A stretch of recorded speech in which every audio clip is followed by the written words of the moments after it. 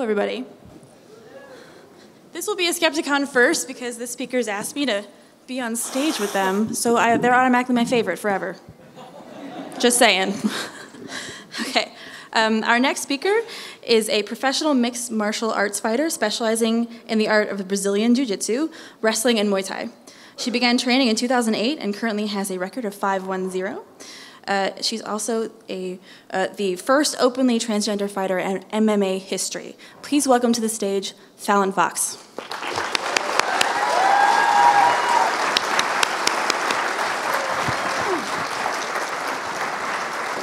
Hi. Welcome. Thank you. Good to be here. Good. Good to hear. Uh, do you want to start by, I don't know, introducing yourself, saying a little bit? Or I did just introduce you, but if there's anything you want to add. Well, my name is Fallon Fox. I'm a transgender athlete and um, MMA fighter. Um, I've been training since 2008. Um, and I first had my first MMA fight in 2011. And I've um, just fell in love with the sport and um, yeah, that's pretty much it. Then I nailed it, is what I'm you getting nailed it. okay, I have a series of questions here I'll be asking Fallon, and, and then if we have time, we'll open it to the floor. I do have my fancy robot computer thing to tell me where we are. Okay, first question Are you ready? Am I ready? I am ready. What is your favorite color? What is my favorite color? Yes. I don't know if I have a favorite color, but I like black. I noticed. Yeah. It's a good color. Yeah, it's a good color. I also like black. You like black too? Yeah. Kudos, bang on, right on. Excellent. All right. Um, which makes you more nervous, facing an unfamiliar opponent or public speaking with an unknown audience? Wow. Yeah. And un- well, I don't know. Um, I don't think anybody out here is willing to come up here and punch me out in the face. We like have normal, a harassment so- policy. Please don't do that. No. So I don't, I don't, I don't know. I, I, I get, I get nervous uh, speaking in front of a large audiences, and I also get nervous fighting. But I suppose, yeah, there isn't that much danger here, and I'm among uh, good people, good skeptics and atheists. So, yeah, feel com- more comfortable speaking here. Yeah. Excellent. Later we're going to fight. So if, does We're that change fight? your answer? Oh man. I'm kidding. I'm kidding. okay. Do you have any up, uh, an upcoming bout that you're training for currently? I don't have any upcoming bouts that I'm training for currently. Um, Yeah. Actually, I haven't fought in about a year. Okay. Um, I've had some problems getting fights because of the simple fact that the UFC hasn't invited me, the Invicta FC hasn't invited hasn't invited me, Bellator hasn't invited me. These are all high-level promotions, and um, I would say it's likely because I'm transgender, and because of the controversy behind that. Um, so I'm stuck being a regional fighter, um, and just stuck wi- with, within a few states. So it's hard for me to find fights um, with other female opponents, and some of them um, are kind of running from me and using the tran my transgender status as a way to like you know steer away from me. So, um, but I hope that that'll change soon, and um, I've also had a few injuries that have kept me out of training for a few months. So, but I hope to get back in there. Excellent. Yeah. Uh, how is training different from uh, training for a bout versus just training to stay fit in between when, when you're finding your next fight? Say that again. Uh, when you're when you're training, is it different when you know there's a bout coming? Like, is there a different regime you have? Oh well, yeah. Um, I think I think when I'm just normally training just to stay in shape and, and stay competitive, um, it's a, a little bit of a lower uh, standard. But when I'm when I'm when I'm start when I get into um, high level training for a fight camp, it really ramps up and things get like really really really um, intense and and draining, and you have to like start start starving yourself for the fight to make weight and stuff like that. So yeah. Wow, intense. Okay, um, who would be your dream opponent? My dream opponent. I think a lot of people would know that. I think that would be Ronda Rousey. yes. Yeah. Because she's she's a, she's the, considered the top contender right now, and um, you know, and, and also because she's talked a lot of shit about me. So You got something to prove, is what I'm yeah, hearing. yeah, and I got something to prove. I got something to prove. Um, she said that she's says some things. What what was the thing that she said? She said I could chop my pecker off, but I still have the same bone structure as a man. So that's something I'd, I'd still like to get back, you know, at, uh, back to her with. So, Yeah, I mean, which, uh-huh. which really doesn't make much sense, you know. Um, my bone structure really doesn't play too much into the game Mm-hmm. plan. So, Exactly. yeah, I got something to, to get, get back to her. So, Sounds like. yeah. Ronda, we're looking at you. okay, uh, what is the toughest challenge you faced in preparing to be an MMA fighter? The toughest challenge that I've faced is probably the more mental aspect of, of fighting. Um, you have to really be prepared. You can train and train and train physically to um, be an MMA fighter. You can put as much hard work as you can in there, but I've seen it time and time again when a fighter has gone into the cage that they just freeze up because they're not mentally prepared for it. And something that um, that you get through a lot of through a lot of training, but um, and especially for, for myself being a transgender athlete, I've had to deal with a lot of negativity from the crowds and them yelling Yeah. things at me, and you, I can't go out there aggressively, like hyper aggressively, and be like mad at the crowd. I have to focus on my opponent in front of me, and that's very hard to do when you're hearing like horrible things and like you know, you know, everyone has to deal with like like the crowd booing, and and and um, just being negative towards you if they're if you're like if it's not your home crowd or something like that. But this is on a totally different level. Being a transgender fighter is something that uh, crowds, um, the MMA crowd in particular, really um, has a, tr- a trouble uh, struggling with, and they say a lot of horrible things, and that's something that I've had to struggle with um, in the cage. Is there any kind of exercises you do mentally to, to focus yourself and to go to a place where you know you can be prepared? I've tried meditation. Um, Yeah. a little bit, but I think it's just more, more, the more experience that I've had um, in the cage dealing with that type of situation um, um, helped prepare me for other other bouts. So I lost one fight because I wasn't mentally prepared for it, and and that sucked um, pretty bad. But after that, I, I, I let everything go. I just realized that I, I put myself in the position that I was going in, into like a battle, into like um, like like I really didn't care too much um, what the crowd thought about me, like that, like like and and putting that out of my mind, it, it, it helped me a lot in, in, in, in my fight, and I smashed in my last bout, so that's pretty cool. Fantastic. Yeah. Okay. Uh, what makes someone a good fighter? What makes someone a good fighter? Well, that all depends. There's different types of fighters. Um, you have those fighters that are very intelligent, but they're not that athletic, and they do very well. And then you have very athletic fighters out there who aren't that intelligent, and they Do you want to just name go any names? Because you know, we already called out Ronda. I think it's why yeah, not? Yeah, yeah, yeah. Right, right, right. They aren't that intelligent fighters, and then you have that fighter that just has a lot of passion, Mm-hmm. and they're very gritty, and they just don't want to give up, and they they just are very determined. But I think that um, what helps make a person a really good fighter is the training and the trainers that that a person has, and you have to have belief in your trainer that's training you. And my belief from my trainer came from the evidence of the, the, the other fighters that he produced. Like at the gym that I, that I was training at, my trainer was sending fighters out to the UFC, to Bellator, to higher promotions, and they're, they're doing very, very well. So you have to find a coach and a trainer who is actually putting out a good product and, and is um, very good at what they do. Excellent. Uh, why do you fight? Why do I fight? Yeah. Because I'm a raging psychopath.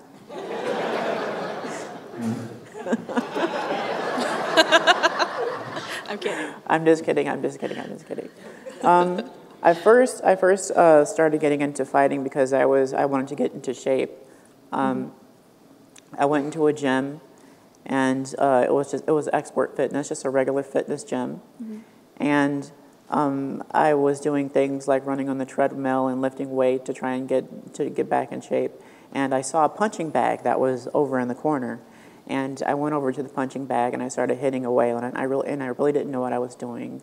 I really had no technique, and there was a physical trainer there who happened to work at an MMA gym.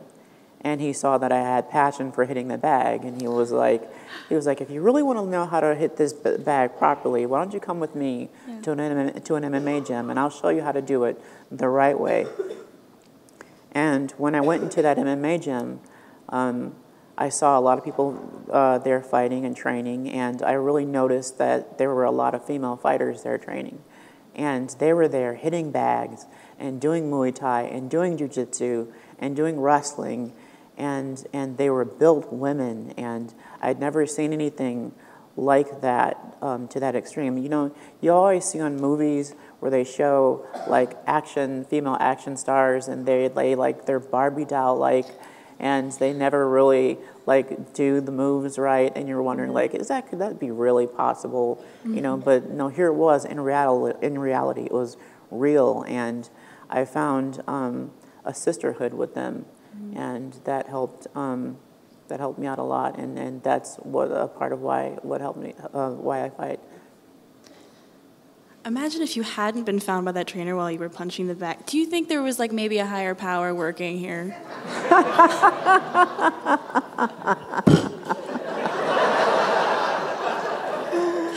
Uh, that was funny. So that's a no. Duly noted. what advice do you have for someone who wants to become an MMA fighter? Um, really, um, you really, really have to want to be an MMA fighter, and you really have to have passion for what you want to do, and you really have to know that there's a very good possibility that you can get hurt, and you have to be in, be willing to invest a lot of your time and energy into fighting, and it's going to take a lot of your money, and it's going to take a lot out of your relationships, and especially when you're cutting weight and you're going home and you're going to be cranky and you know I've lost I've lost a few relationships while while fighting because you know I've I've spent so much time and energy into it. So you I mean it's going to take a lot of sacrifice to become a fighter especially if you're going to go on a professional level. It's not something that I think personally that someone should do as like you know a hobby or something like that because it's mm-hmm. it's kind of dangerous and you know Uh, what would be the most surprising thing to outsiders or even fans about the inside world of MMA? Probably, probably the, the amount of money that we get paid. MMA fighters don't get paid that much. So say um, I fought for Championship Fighting Alliance, and I, I'm, I'm gonna I'm probably gonna fudge this a little bit, but um, I got paid thousand five hundred just to show up and fight, and thousand five hundred to win. So that's a combination. It's three thousand dollars. You know, if I would have lost my fight, with them, uh, that $1,500 would probably go to my medical bills, Yeah. which, you know, I mean, we don't get paid that much, but we don't really do it for um, the money. We do it for the passion of the sport and, and, and the technique of the sport, and that's why we do it. So probably um, the amount of money that we get paid. All right. Uh, do you now enjoy your role as a public face of transgender athletics, or would you rather be just able to concentrate on your fighting career? No, I. Coming out as, as a transgender athlete has really um, hampered my career in a lot of ways. Like, I've lost a lot of opportunities. Um, it's, it's, it's, it's, it's pretty much sucked, but I, I, I would have rather much, I, I would have rather came, came out as a transgender athlete after my career was over. That was the plan. Um, but unfortunately, a, a, there was a reporter who, who was coming after me and was digging on my past and somehow found out I was transgender and was going to reveal this to the public. So that's why I had to come out. And um, yeah, that, that, that kind of slowed my career down. But there's a silver lining to all of this because now I get to come out and I get to talk about transgender athletes and sports, and, and I think that's a positive. So, yeah. Absolutely. I mean, uh, thank you for your bravery. Oh, thank you. Yeah. Uh, How would you rate uh, acceptance of you as a woman by the MMA organizations and by your fellow athletes? By the MMA organizations, depend. It, it, it all depends. Regionally, um, as re, and the regional promotions have accepted me because I put asses in seats, you know. So that's that's a that's a good thing. Um, as far as the, the top organizations, um, like I said, like UFC, Invicta, and Bellator, they really haven't been as receptive to me um, in the sport. So that's not such a good thing. But and um, as far as um, my opponents go, it's been 50-50. Um, There's been some female athletes who have come out to support me um, publicly. And then there's some like Ronda Rousey who have been vicious and horrible and said a lot of mean things. So it's kind of 50-50 there. Yeah. Which and um, as far the, as the fans are concerned, um, it hasn't gone as well, um, especially um, since Joe Rogan came out and said a bunch of like negative comments on online Yeah. and did a podcast where he said a bunch of horrible things, which uh, about um, transgender physiology, ph- physiology, which were not true. So um, that kind of uh, dampened things a little bit. So, yeah. Um, Are the rules governing um, acceptance of trans individuals in sports fair, or would you advocate for something better? I think the rules, uh, the rules pretty much are fair.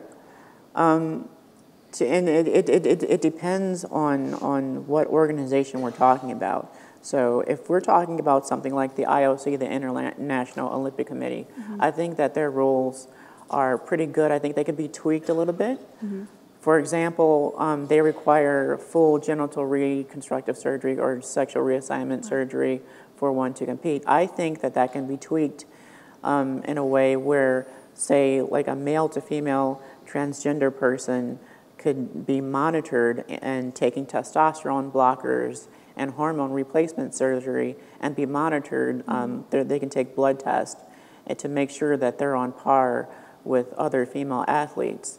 I'm pretty sure that would be expensive for the transgender individual involved, but just to give that person a chance, um, I think that, that it could be tweaked a little bit. Okay. Uh, what do you think the future might be for gender desegregation in sports?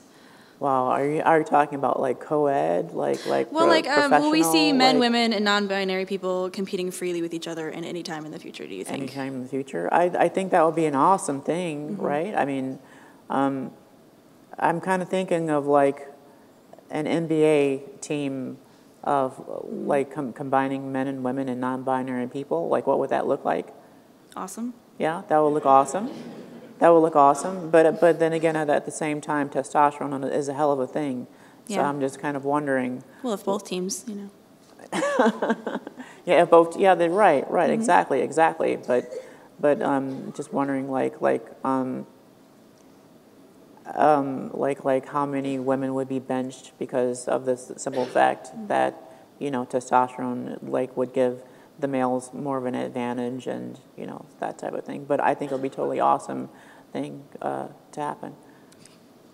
Uh, what can everyone in this room do to support trans people in sports? I think um, education is key. So, like, when people talk about transgender athletes and transgender physiology, and um, they say that we have a lot of advan- advantages in the case of male to female transsexuals, or um, disadvantages in the, in the case of female to male um, transgender individuals, um, that just speak up and say something about it. Don't be silent about it. And, and, and um, I think that's, that's the key thing right there is education.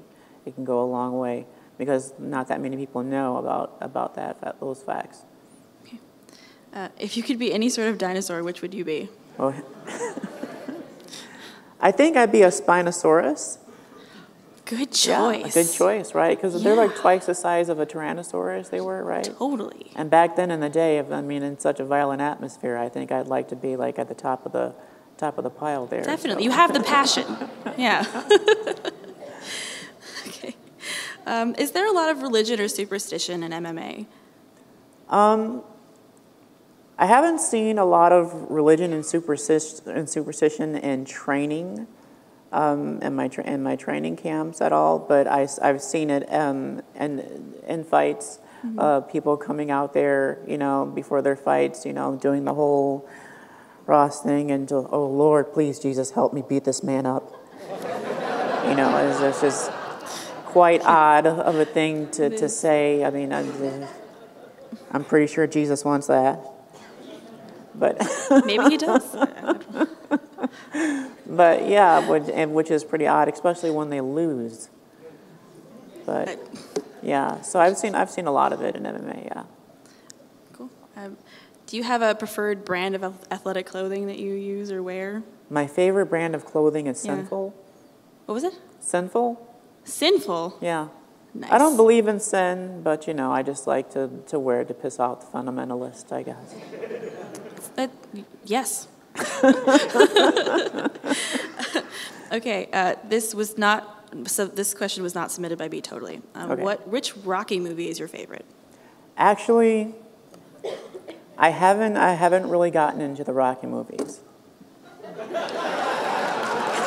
Okay, it's cool. Just, just don't say five and it's fine. I, I haven't I haven't watched I haven't I have I think I think I've watched like a few when I was younger and really didn't get into it that much. Okay. So, but I think one my one of my favorite movies, favorite boxing movies, favorite fighting fighting movies, was Girl Fight. Um, with Michelle Rodriguez, and that really that really um, inspired me and and helped uh, inspire me to get into MMA and to fighting. Great.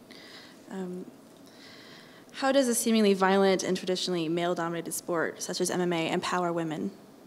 It's empowering to me because um, I see how, how that, that women can be just as skilled as, as the men can be. We may not be as, as, as quick or as, as strong or have the endurance, but we can do the same things. And for me, it's also, uh, I used to be scared to walk the streets at night. Um, that was that was something that that I, that I was fearful of, and um, in training, I just I, I learned and got so good at training that any average male that would to come up, that would to come up to me in the street, I would pretty much kick his ass if he was my size. Nice. So, you know, that just um, it's it's very empowering to know that I'm on par and that I can handle myself. Yeah. Uh, similarly, um, you know, I, in your bio on your website, you talk about how MMA has helped you own your body. Could you talk a little bit more about that? Because I know as women, there's a lot of pressure on what your body looks like and what it does. Right, right, right, right. Um, MMA, I, I, don't know. I, I, I feel that like I have an athletic body, and and um, that the perception out there is to be like a Barbie doll type figure of a person, and and and not to be an aggressive woman. And I mm-hmm. feel that MMA has empowered me in that way, and I feel comfortable in my own skin. You know, just being the powerful, aggressive, athletic woman that I am. So. Excellent. I think we have time for a few questions from the audience. We have a microphone set up over here, so if you could please walk over and, and speak into it. If you have any questions you'd like to add. Anyone? It's right over there. My lovely assistant, Blythe, shall assist you with the microphone. Oh, yeah. Hello. Hi. Um, have there been any uh, difficulties that you've uh, encountered with liberals that maybe were kind of surprising? And then kind of more generally, uh, what can we do better? Or what's a perceived area that we could improve? I missed the last part of what he said.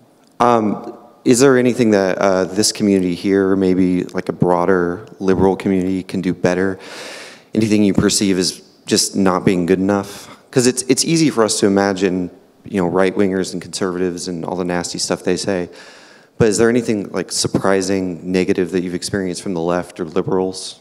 I was, I was, I, I've noticed a lot of atheists and a lot of skeptics have come out against me and, and not understood my position as being a transgender athlete. Um, um, yeah, that's been, that's been something that I've noticed a lot, especially online and on Facebook, um, um, which I try not to look at, but I do anyway. But I mean, it's, it's, it's something that I think um, people need to think about a little bit more. Yeah. Thank you.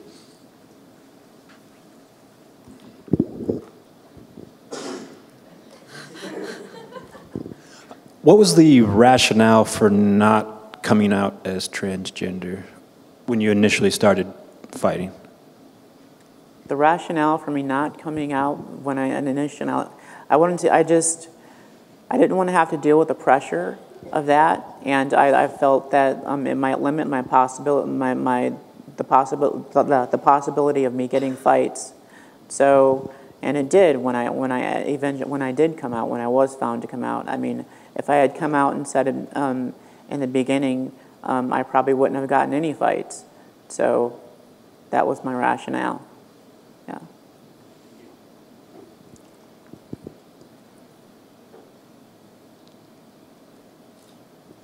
Hi. Hello. I'm, um, I'm almost 60 years old, and I don't, I ride a bike. That's the only athletic thing that I do. If I wanted to take up a mixed martial art, which one would you recommend?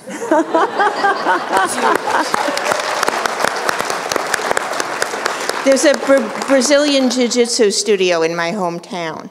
I was going to say Brazilian Jiu Jitsu. Brazilian, Brazilian Jiu Jitsu you can do throughout your lifetime. It's low impact, it's, it's not hard, you're not getting punched in the face, and you can roll around on the ground. It's very good. I've seen people um, do Brazilian Jiu Jitsus until they're like, mm, wow, until they're like their 70s. So that's something that, that you could do. Um, actually, when, when I first started training, I was in my 30s and I was rolling around with a 45 year old woman who was whipping my ass. so, I mean, you can do it for a long time. So, a Brazilian, jiu- Brazilian Jiu Jitsu, yeah.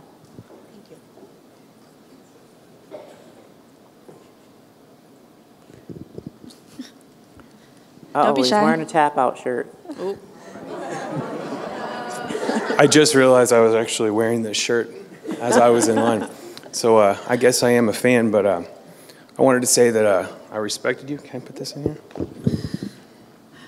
I respected you because uh, you're, you're, you're a, a skeptic. I respect you because you're transgender. And certainly don't let anybody take anything away from you. Uh, your hard work, for instance. Um, but, however, uh, being an ex bodybuilder myself, uh, I understand genetics and uh, hormones and things like that. I understand genetics and hormones a little better than most people. um, do your opponents see um your, you know, if you still have your manhood, so to speak, uh, the testosterone? Do they still see? Do they see that as anabolics, like in the same category as anabolic steroids, so to speak? Yeah, I think uh, you need to leave. No, it was a legitimate question. Yes, but it was rude, so you need to you need to leave. Oh, I didn't know. I, I didn't know. I'm Do not, they I'm see not you in the same understanding the category question, but That's okay.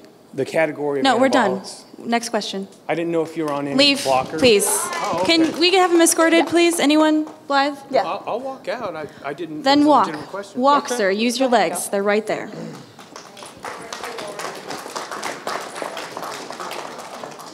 Sorry. Some of us disagree with your decision, by the way. Yeah, that was a little bit overreaction. I, I think that was an overreaction. If you would please calm down, we have another question to ask. I wouldn't mind answering the question. I, I, I, I, I had supposed the question, I, I didn't fully understand it because he didn't get to finish. But, I mean, I suppose he's, he's asking about testosterone and, and all of this. So, um, what happens is over the, the, the over the a period of time, over two years, um, the testosterone in my, my, my testosterone is lower than any than just about any of these women in this in this room's testosterone levels are. So, um, yeah. So and and over my my musculature has decreased over the years, and so there you have it. So I'm I'm on par with a lot of, my female uh, counterparts in MMA. So, was that did that answer your question? You don't know you don't know what the levels are because you haven't looked into it, right? Right. So you need to look into it, and that's that's part of the problem is that's part of the problem is the ignorance behind it, and we've been trying to put that out. Um, we've, we've been trying to put that out there, like the, our, test, my, our testosterone levels. So I'm lower than any of the, my testosterone levels are lower than hers, lower than hers, lower than hers, lower than any of these women in this room. And it's been that way for years. And I've, I've had gender reassignment surgery and been on hormones since I was 30. and I'm almost 40 now. So, yeah.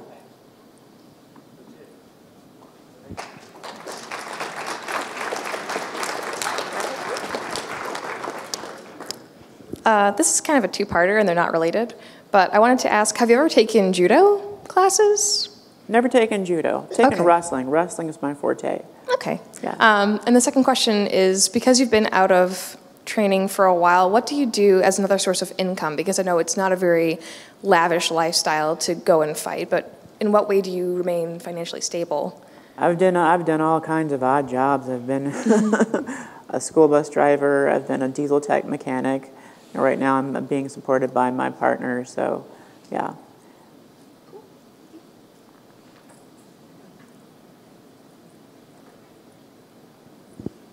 What advice would you give to other transgender athletes? Wow. What advice would I give to other transgender athletes? Stick to your guns and don't let um, the ignorance, you know, of people who don't understand certain things about um, your physiology or um, just being trans in general dissuade you, and just keep going for it.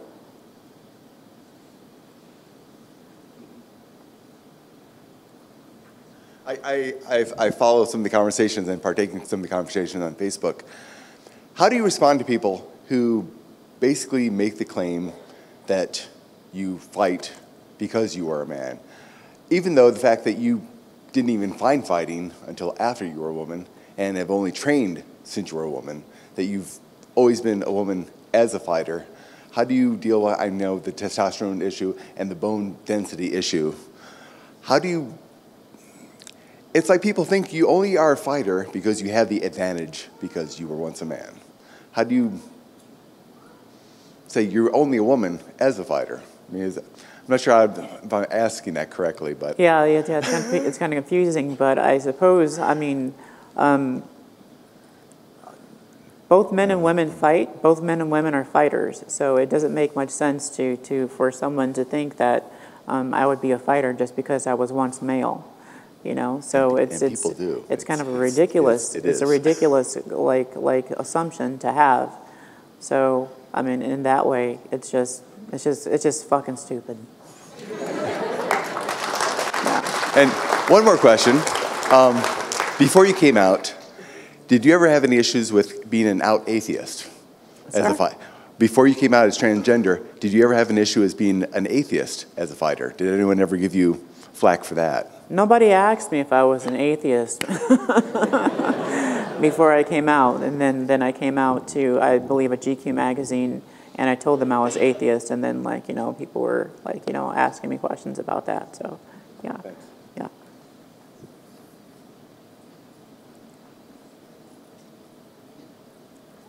This actually kind of piggybacks on Tom's last question. Which was hardest to come out as, trans or atheist for you? Wow. Um, they're probably about equal. I think atheist is probably harder, you know, um, dealing with my family because my family, I came from a family of evangelical Christians, you know, the crazy kind of Christians speaking in tongues. I can do it right now. Yeah. Speaking gibberish, you know, that type of thing. So, I mean, that was really rough for me. And then coming out as trans was um, almost equally as rough with them. So, um, yeah, they're, they're, about, they're about the same. Yeah.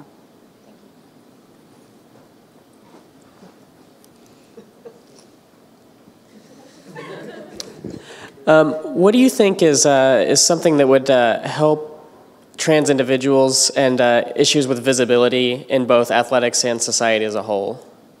I, I, I believe more transgender people coming out and and and and, and being in sports and and ju- just being themselves. Um, right now, our um, lack of visibility is hurting us. But but right now we have um, fortunately fortunately people like Caitlyn Jenner and Laverne Cox and myself are coming out and, and there's like a lot more visibility. I think once people start understanding that we're humans and that we're the women that we say we are or the men that we say that we are, then things will get a lot more better and, you know, it's just visibility. Was there any trouble trying to finding a good camp being transgender? Oh, I didn't. I didn't have much trouble finding a, a good camp being a transgender because I, I wasn't out then. I didn't. I, I didn't come out. So I was training for years um, in gyms. Um, wow, since 2008 until about 2012 or 2000. Yeah, before before anyone knew I was transgender. So that's got to say something, right?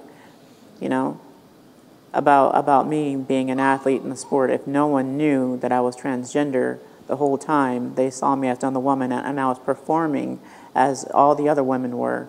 That's got to say something. So.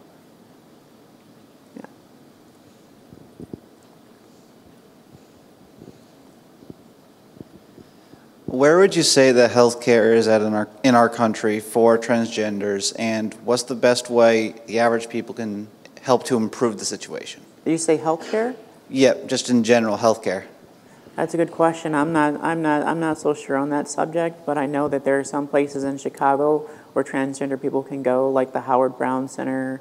Um, but those are like in, mostly in like large cities where people can go to like get transgender care. Um, but I think, and, and I, I, think I really have to look more into in, more into detail into that. I'm not so sure if, like um, the new Medicare standards will cover transgender individuals with surgery and hormones and, and things of that nature. So, thank you. Yeah.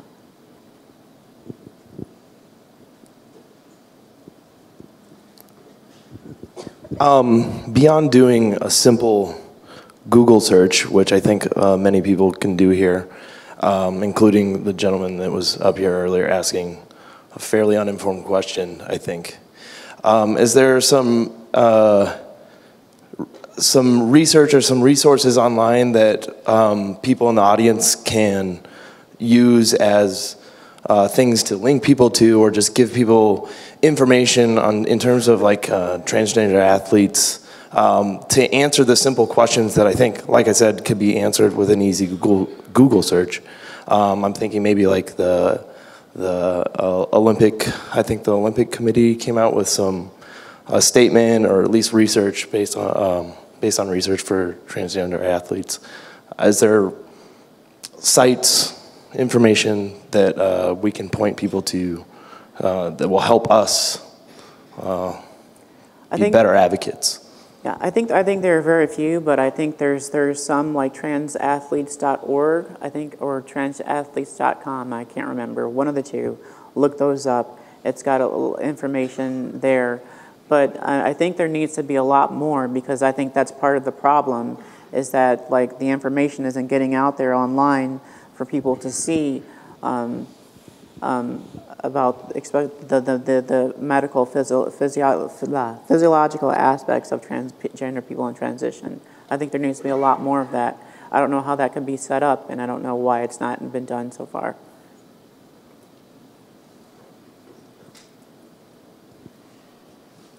Hello. First of all, thank you for speaking and sharing your story. I know it's a, a space of vulnerability, sharing time and time again, and I think your words are very powerful.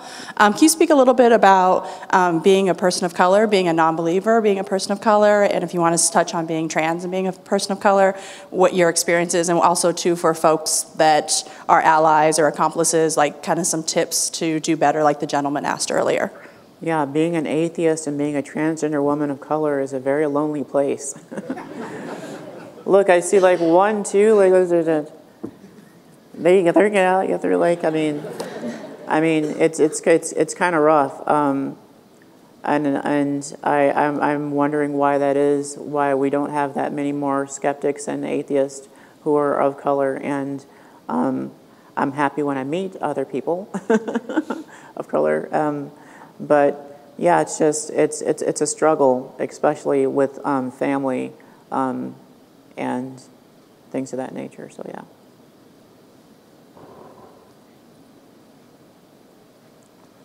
There he is. Hello. Hello. Uh, so, with all of this said and everything that I'm coming out as trans, atheist, everything going on, would you say, on a positive note, that anybody, any race, religion, gender, whatever, lack of religion, can do anything the fuck they want if they put in the hours, the time, and dedication to do it? And uh, really, all of that, anything that uh, holds you back is, well, the only thing holding you back is the bullshit excuse that sells you from taking what you want. And how would I? I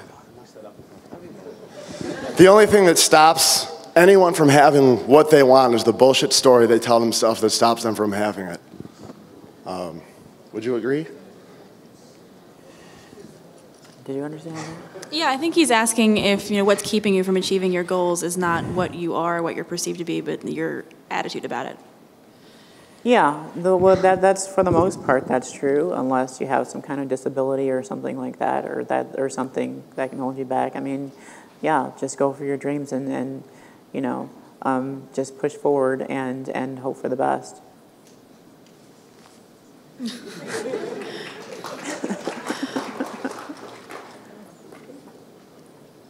You coming out as transgender, has that just stopped your career completely? Has it stopped my computer completely? I don't know. It slowed it down a lot. Yeah. It slowed it down a lot. I, like I said, I don't know if I'm going to have, a, if, if I'll ever fight again.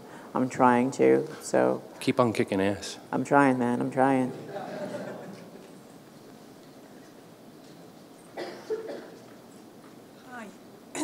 Um, I just wanted to ask you about fighting and, and what makes a good fight. All I do is run, so I know what a good run feels like, but fighting's always been a little bit. I enjoyed kickboxing, I did a little bit of that, but I was just Right wondering on. what, apart from winning, obviously, what makes a fight a good fight? What makes a fight a good fight? Um, I, th- I think w- the, the best fights are the fights where, where the two opponents have respect for each other and they go in there and they give it all that they have. Um, I really don't like the fights where um, the two fighters are, are, are really um, talking trash about each other too much. I've had a, a few of those, you know, and I just I like it when it's a respectful fight and there's a lot of action in the fight and you know it, it's it's it's it's re- it's a respectable fight. Sure, Those are my you. favorite fights. Thank you. Yeah. Okay, I think we have time for one more question. If look at you, just as we need you. Come on up. Um, I've done a little bit of fencing before, and there's been times where I, uh, where I can look at a person and know this is going to be tough, or I'm going to get my butt handed to me. Do you have similar uh, things when you're uh, walking to a ring when you see a person? Do you kind of know maybe I'm in over my head, or is this going to be an easy cakewalk, or what? What?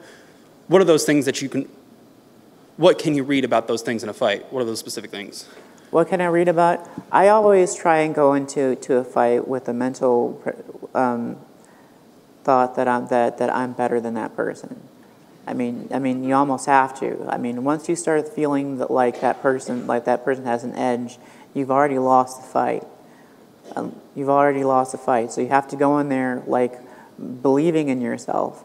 I mean, that's hard. That's kind of hard to do, especially if you have an opponent that like has a lot more um, experience than you. And I've been in some of those fights, but you have to have some kind of like belief in your training. And if you've put enough training in, then then you should like you know have to like you know believe in yourself that you can do it. That's that's the best way that I found that I can that I, that I've made it through my fights.